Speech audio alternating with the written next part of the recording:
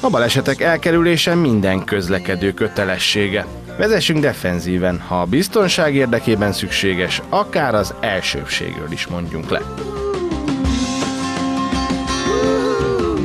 Az elsőbséggel rendelkező sem közlekedhet akárhogyan. Nem lépheti túl a megengedett sebességet sem, hiszen fontos, hogy ő se okozzon veszélyhelyzetet. Nézzünk egy példát. Székesfehérváron a Mártírok úti kerékpárút és a Kereszt utcák találkozásai veszélyes helyek a kerékpárosok számára. Igaz, a szabályosan hajtó kerékpároknak elsőbségük van itt, de a gyorshajtó kerékpáros szabálytalan.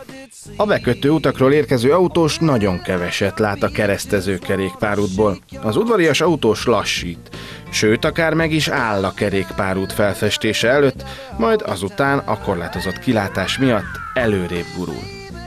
A körültekintés nélkül a kereszteződésbe gyors hajtással távolról berobbanó kerékpáros, különösen ha még az itt megengedett 20 km per órás sebességet is túllépi, váratlan helyzetet okoz.